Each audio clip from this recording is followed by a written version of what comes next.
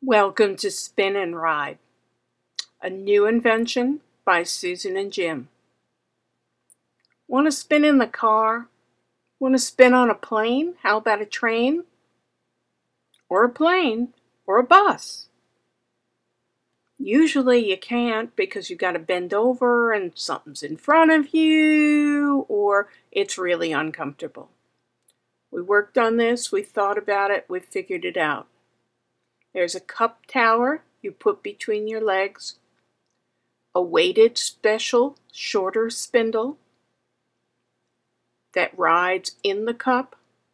It turns forever. Watch it.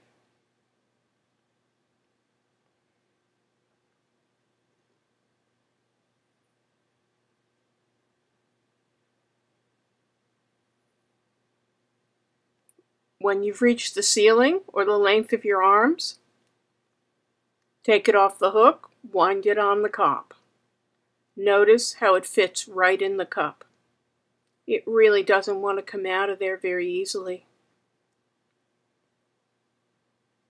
It works the same as any bottom whorl spindle. Susan never had used one before, learned it in 20 minutes. She loves it.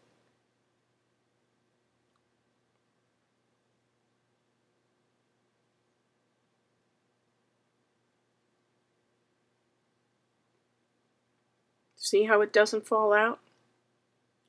As long as you're hanging on to the single. Wind it on. And go again.